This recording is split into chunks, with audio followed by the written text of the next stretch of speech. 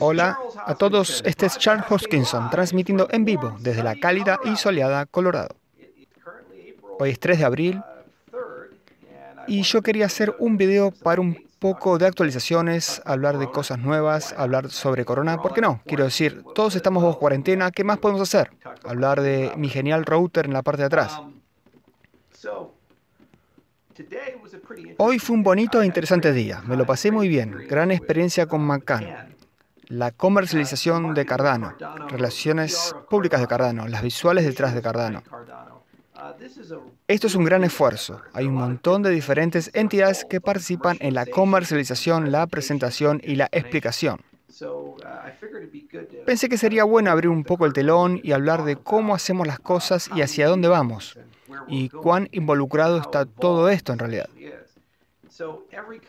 Todas las empresas, Emurgo, la Fundación Cardano y HK, todos tenemos nuestras propias divisiones de marketing y normalmente eso implica no solo una, sino una colección de personas que son interdisciplinarias. Así que tenemos especialistas en relaciones con los medios, especialistas de comunicación, comercializadores de producto y luego personas que son directamente responsables de campañas de marketing. También tenemos community managers que ayudan a construir moralidad y subrogación con los mensajes. Luego, hay en realidad tres empresas externas con las que estamos trabajando activamente, ya sea hablando de la comercialización o hablando de marketing en sí mismo. El lado de la comercialización ha sido realmente encabezado y unificado por PwC. Tuvimos un taller justo antes de que la cuarentena comience. Así que golpeó madera, fuimos muy afortunados de haber conseguido entrar y salir sin mayores problemas. Fue en Londres y realmente lo que nos permitió es pasar tres días con la Fundación Cardano, Emurgo y HK juntos.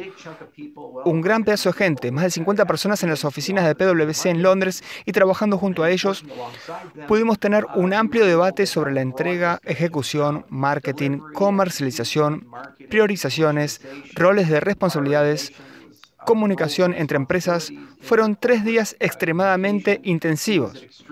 Fueron días de 12 a 15 horas. Enormes cantidades de información fueron recolectadas. Cientos de ítems de acción fueron producidos. Tuvimos que crear un equipo y comité dentro de nuestra organización solo para abordar nuestra colección de cosas que necesitamos hacer y hemos estado procesando eso. Algo de ese taller fue sobre visión y misión, mejores formas de discutir y describir a Cardano mejores formas de discutir y describir Cardano en empresas Fortune 500, etcétera, etcétera. IHK también trabaja con una organización conocida como April 6. Son una organización especializada en relaciones públicas y son muy, muy buenos en el análisis de sentimentalismo. Son muy, muy buenos consiguiendo fuertes relaciones con buenos periodistas independientes o adjuntos y son capaces de crear grandes narrativas y asistirnos con un montón de diferentes cosas que necesitamos hacer ya sea recibiendo algo de prensa positiva en ciertas jurisdicciones, campañas dentro de ciertas jurisdicciones, a solo descripciones más precisas y justas de nuestro producto. Pero también pueden ayudar con marketing y también hacen análisis de sentimentalismo, que es básicamente la percepción pública de las cosas que hacemos. También mencionamos que estamos trabajando con Macan y hemos estado trabajando con Macan creo que desde diciembre y esta ha sido una relación caliente y fría. Al principio hicieron algunos trabajos y no me impresionó mucho ese trabajo. Y yo era muy crítico y vocal.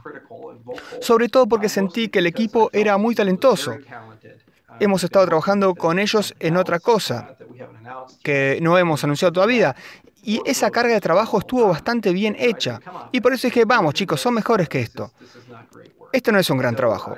Así que hoy hicieron una presentación y fue considerablemente mejor que la primera presentación realmente llevaron el corazón, fueron muy específicos, hicieron todo desde la marca a los colores, algunas ideas sobre las campañas y yo estaba muy muy feliz con esa salida.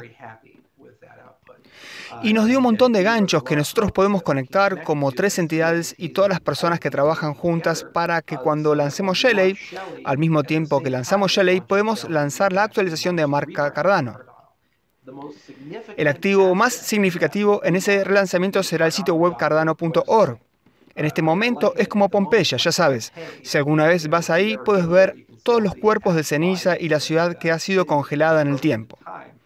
De manera similar, Cardano.org no ha sido actualizada en un tiempo muy largo de manera significativa y lo que está sucediendo bajo el capó es que hay un gran equipo de personas que están trabajando en las tres organizaciones.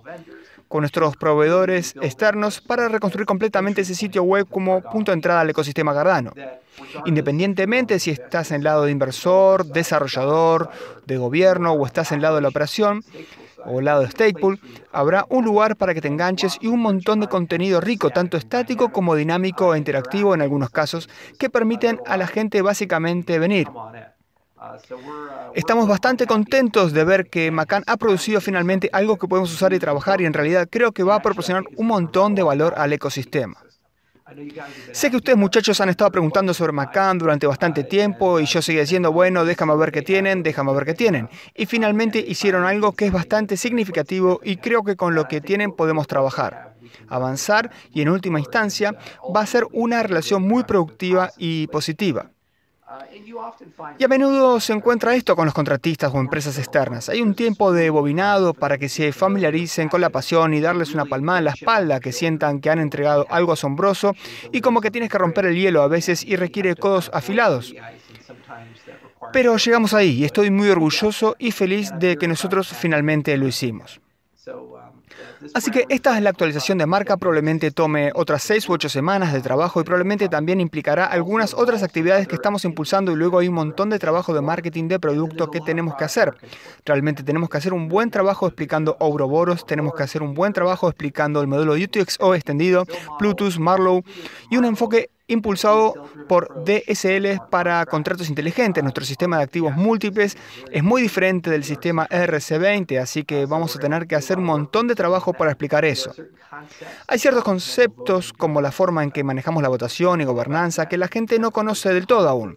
No hemos sido públicos con ello todavía y esos vienen pronto, así que realmente necesitamos empezar a hablar sobre ellos y otros pequeños artefactos como la forma en que Adrestia funciona, las bibliotecas que vamos a desplegar este mes, si vas a usarlo para la integración, estas cosas. Así que es un esfuerzo hercúleo y también Cardano Docs está siendo completamente reescrito y también está en ese horizonte de 6 a 8 semanas y estaremos liberando un montón de activos. El marketing está definitivamente en marcha y hay al menos cinco entidades independientes trabajando a tiempo completo con cantidades de dinero no triviales y personas para conseguir las personas en un punto en el que nos podemos sentir cómodos con una campaña muy agresiva y realmente empujar hacia afuera. ¿Por qué somos especiales? ¿Por qué somos únicos? ¿Y por qué Cardano es una plataforma increíble para utilizar? Independientemente de las personas o conductas que estás involucrando. Así que para la pregunta a McCann, solo quería abordar eso y decir, buen trabajo chicos, más para hacer. Sobre el reinicio Byron, para pivotar sobre eso, liberamos Flight, Hemos recibido 27 tickets de soporte hasta ahora en Flight. Vamos a cortar otro lanzamiento para Flight el lunes. Encontramos una fuga de memoria y algunas cositas aquí y allá. Pero en general estamos muy felices con lo que hemos visto y en general estamos muy contentos con la respuesta y el diálogo que hemos tenido como resultado de Flight. Poco después de este siguiente paso con Flight, si las cosas se ven bien, entonces lo llevaremos a Daedalus Classic. Sacar eso. Luego continuaremos el plan de despliegue para el reinicio Byron. Parece que la mayoría del reinicio debe ser percolado en todo Cardano para mediados de abril. Además de eso, hemos tenido un montón de preguntas sobre el informe de auditoría que hizo Root B y estamos en modo de remediación ahora mismo para sus hallazgos. Creo que actualmente nuestro programa es que toda la remediación debe ser terminada y firmada el 17 de abril. Si eso ocurre y Ruth Naevi está cómodo con la remediación y nos autoriza una liberación, entonces haremos público el informe de auditoría. Hemos hecho esto antes con Kadesky como auditor previo, así que no anticipo que haya algún problema ahí pero parece que vamos a tener un certificado de salud limpio después de que terminemos con toda la remediación. Es una auditoría que valió la pena. Fue muy divertido trabajar con el equipo RugNIB y probablemente los contratemos para una auditoría más profunda y agresiva en ciertas partes del sistema. Una auditoría más dinámica que un análisis estático. Porque hay ciertas cosas que yo personalmente me sentiría muy bien si nos acercamos a mirar. En general, porque nunca han sido miradas por la gente en el espacio de criptomonedas. Hay un montón de criptografía utilizada dentro de Cardano, desde firma K evolutiva, la verificación aleatoria de funciones, a un nuevo tipo de esquema de firma. Hicimos modificaciones, por ejemplo, al 825519 para el soporte de billetera HT. Así que hay pequeñas cosas como esas que son específicas de Cardano y no se usan en ninguna otra parte del espacio o no son utilizados por un montón de proyectos en el espacio. Así que en general necesitas pasar bastante tiempo auditando esas cosas. Pero RundaB ha hecho un fenomenal trabajo haciendo su primer pasada. Tenemos un grupo de autoría interna en IRishK.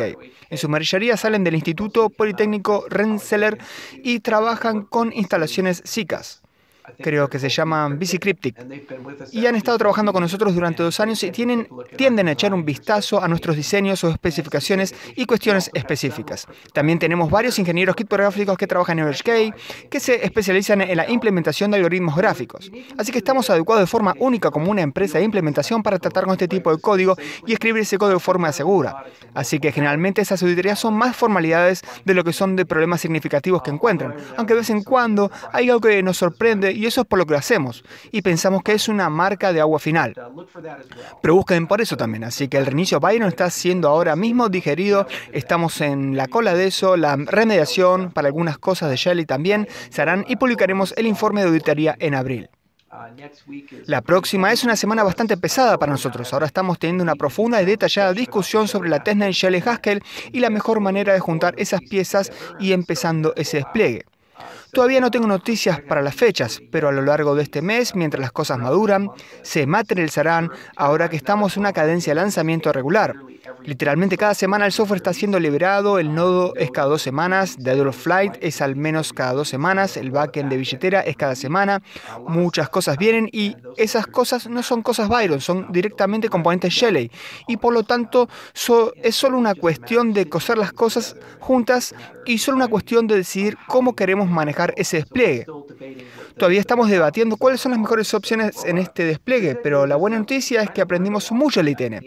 Encontramos 269 áreas de mejora de nuestro post-mortem de la ITN. También aprendimos una enorme cantidad de nuestra comunidad acerca de las sugerencias para las formas de mejorar la experiencia de Stakepulse. La interfaz de usuario, APIs específicas de las que querían bibliotecas. También hablamos con algunas empresas, por ejemplo, hablamos con Vice and Trails sobre Stakepulse como un servicio, porque ciertos intercambiadores los usan y estamos iniciando conversaciones sobre cómo podemos integrar para que cuando Shelley se encienda, si tienes tus hadas en un intercambiador que soporta esto, podrás delegar a través de ellos como servicio de staking. Así que hay un montón de estas conversaciones que se están llevando a cabo. También se firmó un acuerdo a través de la Fundación Cardano para que Ledger soporte tanto multifirma en Ledger así como staking frío en el dispositivo Ledger. Muchas de estas pequeñas cosas se están haciendo en paralelo, además de las bibliotecas que estamos creando, además de mucha de la digestión del reinicio Byron.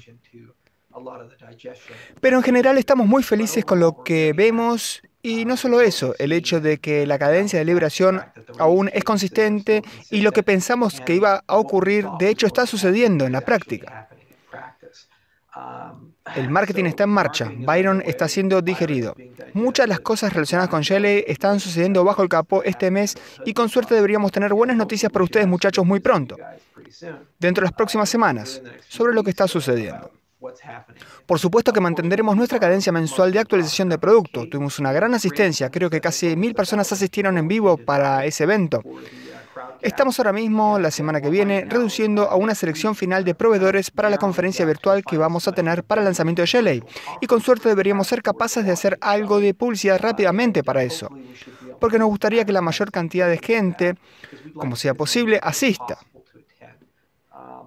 Hay una conferencia a la que estamos asistiendo que es virtual, y es mi primer conferencia virtual. No, la segunda conferencia virtual. Hice una hace unos años atrás.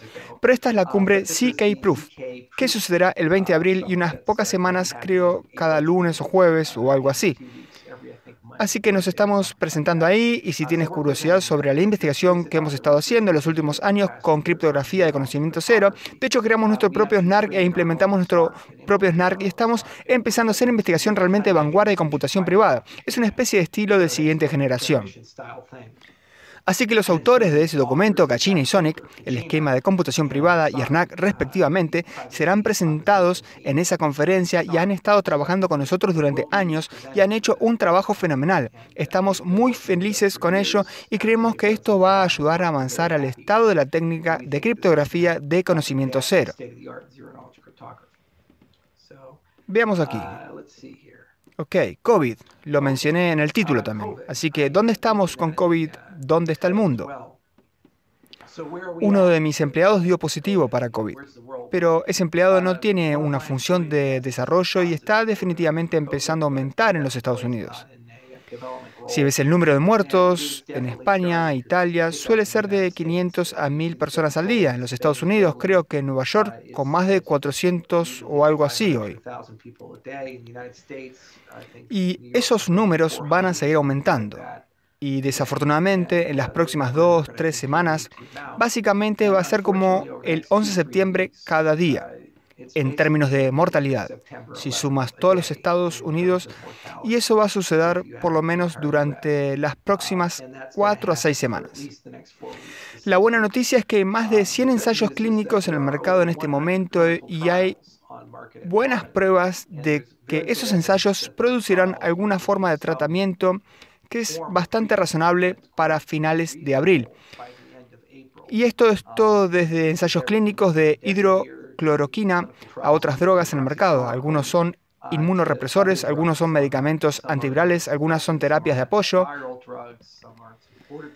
A pesar de que el mundo entero se ha despertado y si encontramos buenos terapéuticos y ahora que tenemos una prueba Roche que puede decir si tienes coronavirus en 20 o 30 minutos y una prueba de anticuerpos que tiene una precisión del 98%, que también puede decirte si has tenido coronavirus en algún momento.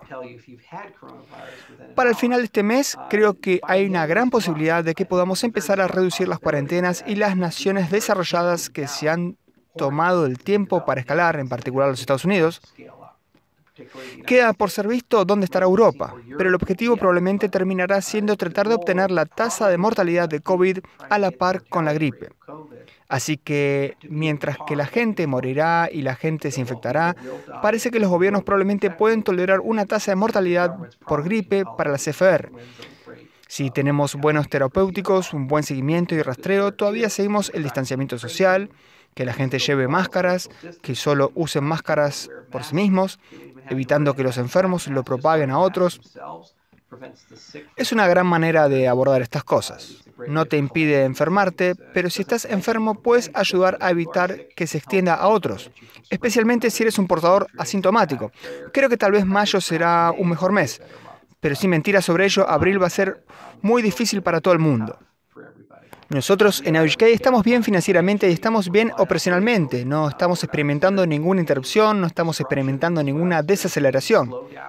En general nuestra compañía está operando realmente más rápido de lo que hemos operado antes porque los ingenieros son capaces de ir y jugar, así que todo lo que pueden hacer es solo escribir código por el momento. Así que la oscura realidad es que esto no nos ha interrumpido todavía, pero ciertamente ha perturbado el mundo y ha tenido un profundo impacto. Algunos amigos míos han contraído coronavirus, algunos amigos míos han muerto y he escuchado a través de los canales extendidos de otras personas que han perdido miembros de su familia y eso solo va a continuar y probablemente al menos un millón de personas en todo el mundo probablemente van a morir si no más. Así que esto es definitivamente una tragedia y es una muy triste tragedia y es una que probablemente cambie muchas cosas. Hay un montón de preguntas acerca de libertades civiles y esta es una de las razones por la que estoy trayendo COVID.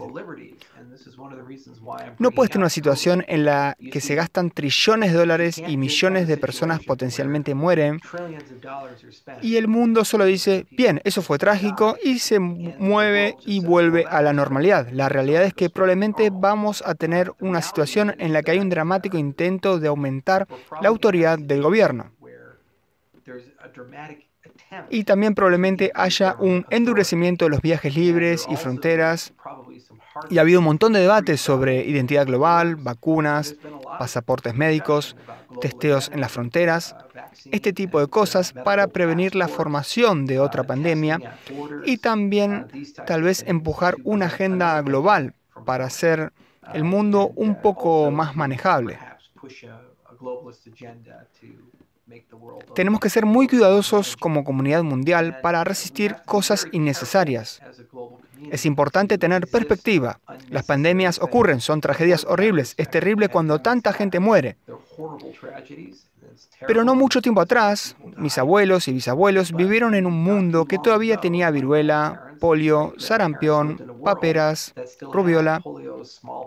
Vivían en un mundo donde millones de personas murieron de tuberculosis y es genial que hayamos sido capaces de librarnos de estas cosas. Pero nosotros, como especie humana, de alguna manera, hemos sido capaces de operar a pesar del hecho de que sufrimos enfermedades horribles en el pasado y no hemos tenido que intercambiar nuestra privacidad, nuestra libertad y nuestra libertad de lidiar con estas pandemias.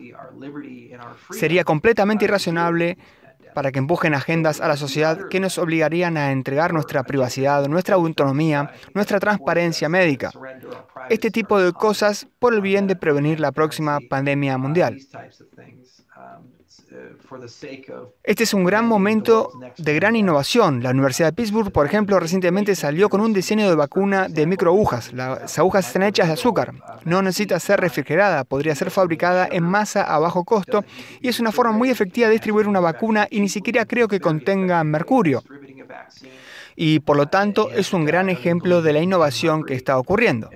Y el hecho de que Roche fue capaz de venir con un testeo de coronavirus que normalmente tardan un año en conseguir la aprobación, en dos semanas que puede decirte en 30 minutos si lo tienes con un alto grado de precisión. Te dice que ciertamente podemos lograr mucho cuando nuestras espaldas están contra la pared, pero no es una excusa para una expansión masiva del poder del gobierno y no es una excusa para una expansión masiva de vigilancia del gobierno. Eso no es necesario. No necesitamos rastrear cada humano en el mundo y tener alguna autoridad central que sepa dónde estamos todos, solo para que podamos aislar socialmente a la gente. No vale la pena. Realmente no. Lleva al punto de por qué las criptomonedas o la tecnología blockchain son tan importantes. Porque en última instancia no puedes simplemente criticar un enfoque y luego decir, hola chicos, no tenemos otra opción. Tienes que ser capaz de decir, sí, tu enfoque es erróneo, pero en lugar de solo decir que está mal, aquí hay una forma diferente de hacer las cosas. Así que nosotros en AHK estamos construyendo un sistema de identidad digital. Nosotros en AHK estamos construyendo sistemas para la votación. Nosotros en AHK estamos construyendo sistemas para rastrear y localizar cadenas de suministro. Todas estas cosas están interconectadas a las crisis actuales que tenemos. Cuando el gobierno federal de Estados Unidos comenzó a preguntar cuántos respiradores necesitaban, la primera pregunta que hicieron fue, bueno, ¿cuántos respiradores tienes? Así que antes nuestros estados de hecho no tenían un inventario, nunca se habían molestado en contar o no tenían los procesos o capacidades para tomar inventarios adecuados de equipos de protección personal, respiradores, suministros médicos como drogas, lo cual es una declaración extraordinaria. El sistema de salud más caro del mundo y el país más rico del mundo no es capaz ni siquiera de saber cuántos respiradores hay en el estado.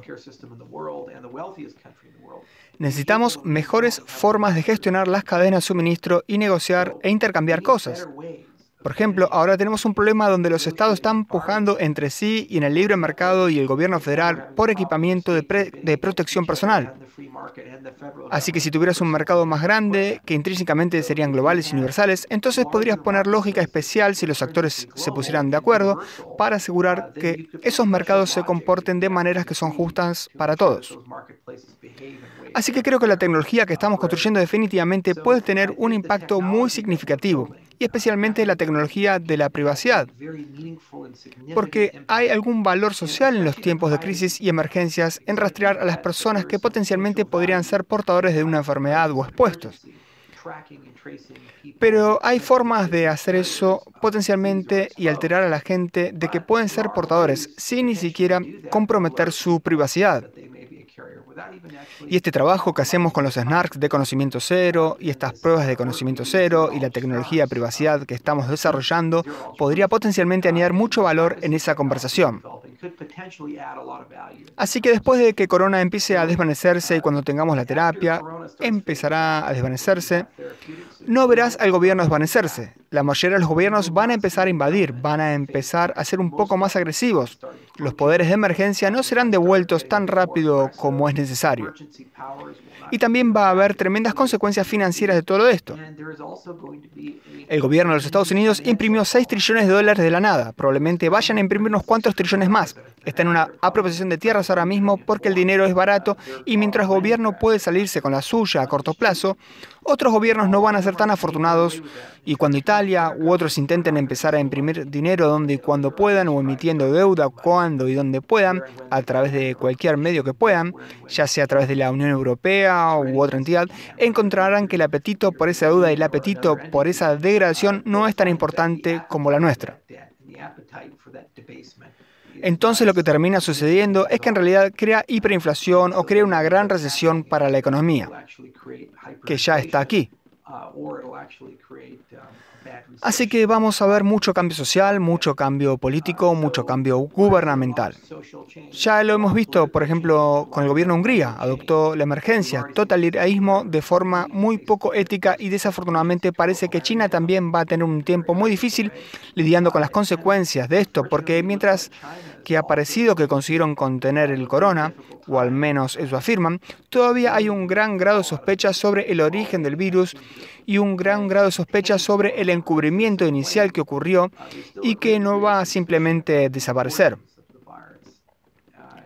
No puedes hacer algo que resulta en la muerte de millones de personas y trillones y trillones de dólares perdidos y luego esperar que puedas decir simplemente, vamos a olvidarlo, vámonos. La gente no va a dejar que se vaya, va a haber un montón de investigaciones, un montón de escrutinio internacional. Así que podríamos ver más guerras comerciales como consecuencia o incluso una guerra fría como consecuencia. Así que esto va a ser un momento rocoso los próximos seis meses o un año, si no más. Y no hay que poner a este genio de nuevo la botella. Reiniciar el mundo va a ser un esfuerzo difícil y se harán preguntas fundamentales. ¿Deberíamos mantener el viejo orden o cambiar a un nuevo orden? Así que supongo que el punto de esto es solo para decir a todo el mundo que sean escépticos y cautelosos y también darse cuenta de que estos son los momentos en los que tus libertades o bien mejoran o se quitan. Recuerdo haber vivido a través del 11 de septiembre. Fue un evento horrible. Fue un terrible ataque terrorista y una tragedia. Pero la consecuencia de eso fue que mi nación fue a la guerra durante 19 años. Hemos gastado, 19, hemos gastado trillones de dólares. Inadvertidamente y directamente matado a millones de personas y ha sido una época muy oscura en nuestra historia. Amigos han perdido sus vidas y tenemos cientos de miles que se han visto afectados directo o indirectamente como consecuencia de 19 años de guerra. De hecho, hemos tenido una guerra intergeneracional, donde las personas que lucharon en Afganistán en 2002-2003, sus hijos estaban ahora sirviendo en Afganistán o en Irak, lo que es una cosa extraordinaria. Tener múltiples generaciones que sirven al mismo combate, para el mismo conflicto. Eso fue una consecuencia de ese evento, 19 años que todavía siguen. Ahora existe el Departamento de Seguridad Nacional, soy abusado en los aeropuertos cuando paso por seguridad, como muchos de ustedes también, y eso fue un evento, un día. El coronavirus está aquí, un impacto mucho más significativo, muchas más muertes, enorme impacto económico, totalmente global, sentido por todos. Así que la respuesta y la reacción a ello va a ser mayor que la respuesta y la reacción al 11 de septiembre. Y si el 11 de septiembre puede obligar a, mi nación a ir a la guerra por dos décadas, cambiar la estructura de libertad social, cuadruplicar el tamaño de nuestras agencias de inteligencia, crear departamentos completamente nuevos, entonces puedes imaginar lo que la posible respuesta mundial podría ser a un evento como este. Es algo que tenemos que saber y ser cuidadosos. Y otra vez, creo que es una oportunidad políticamente hablando, para proponer nuevas ideas y soluciones. Por lo que es imperativo que saquemos Shelley. Es imperativo que saquemos Gogen fuera tan rápido como podamos. Es imperativo que ustedes como comunidad den un paso adelante. Asegúrense de que sus voces sean escuchadas y usen la tecnología que yo construyo, la tecnología que otras personas construyen para proponer soluciones a estos problemas a medida que surgen. Si no encontramos esas soluciones para estos problemas o no las proponemos, otras personas lo harán y esas soluciones no serán descentralizadas. A menudo resultarán en la transferencia de tus libertades personales y poder de los muchos a los pocos. Y ellos nunca los devolverán sin una revolución. Y esas no vienen muy a menudo y no son asuntos agradables. Así que COVID definitivamente me pone triste, todo acerca de él me hace sentir triste. Fue un evento de cine negro, que de alguna manera fue predecible, pero lo tratamos como un cine negro. Y sin embargo, a pesar de que lo estamos viendo en cámara lenta, ha llegado un punto en el que realmente es un verdadero asunto. Mi papá es médico, mi hermano es médico, tienen pacientes COVID y hay una buena posibilidad de que por lo menos mi padre o mi hermano puedan contraerlo. Y mi padre tiene 60 años. Así que es el tipo exacto de demográfica que tiene un CFR más alto. Pero aún así van a trabajar todos los días y todavía tratan estas cosas todos los días y es difícil.